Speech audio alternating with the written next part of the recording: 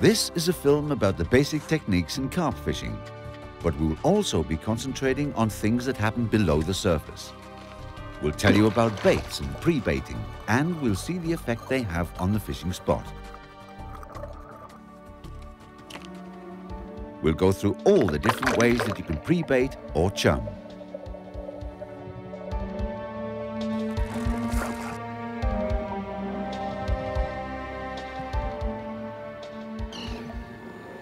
Many completely different types of bait can be used for carp fishing. We'll look at most of them, and we'll see how you make a standard rig for fishing with boilies. Naturally, we'll have a look at the fishing gear too, but the most important thing is what goes on in the fishing area. Here, for instance, we see a bream taking the bait. We see other species of fish being lured to the area because of the bait, and we see incredible footage of a pike in the fishing spot.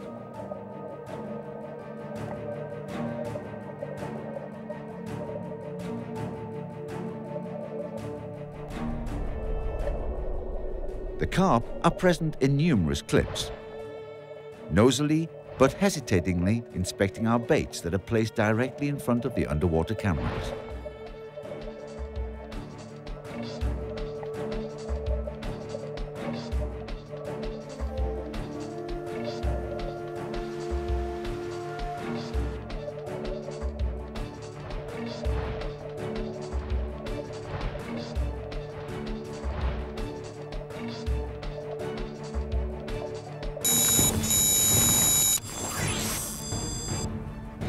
fisk said it was in.